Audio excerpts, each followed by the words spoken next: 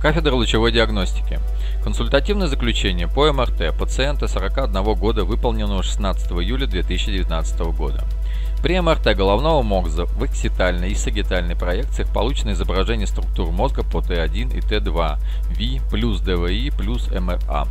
Очаговой патологии головного мозга не найдено. На уровне базальных ядер определяется единичное расширенное переваскулярное пространство по ходу пенетрирующих сосудов. Желудочковая система сформирована правильно, начальная гидроцефалия. Субарахноидальное ликворное пространство по конвекситальной поверхности больших полушарий несколько расширены. Цистерны основания мозга прослеживаются отчетливо, не деформированы. Срединные структуры не смещены.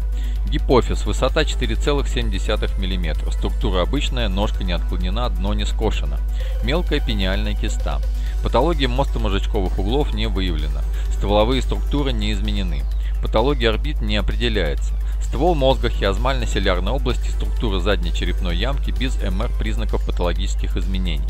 Миндальная мозжечка расположена на уровне большого затылочного отверстия. В проекции моста мозжечкового угла корешки восьми пар черепно-мозговых нервов прослеживаются отчетливо с обеих сторон, симметричны, не утолщены. Отек слизистой левой лобной пазухи. Отек нижней носовой раковины справа. При магнитно-резонансной ангиографии сосудов артериального круга мозга, полученной методом 3D ТОВ, участков стенозов, аневризм и мальформации не найдено. Вилизиев круг замкнутый. Заключение. Патологии головного мозга не выявлено. Заведующий кафедрой профессор Холлин А.В.